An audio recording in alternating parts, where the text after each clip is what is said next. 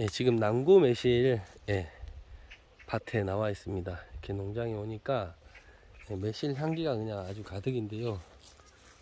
여기 보시면은 이렇게 예,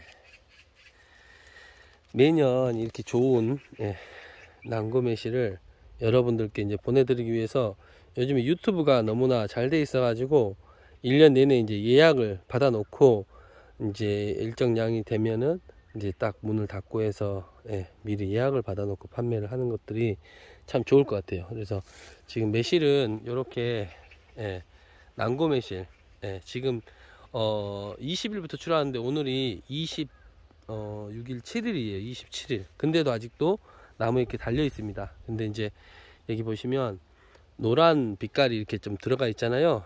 예. 그리고 아직도 햇빛 안 본 것들은 이렇게 초록초록입니다. 초록초록. 예.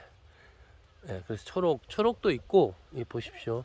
예. 초록도 있고, 햇빛 받는 부분들은 저렇게 빨강, 예.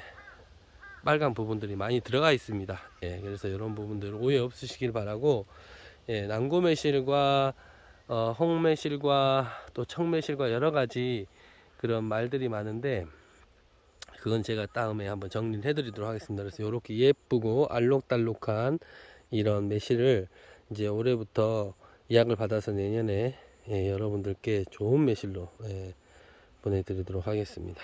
감사합니다.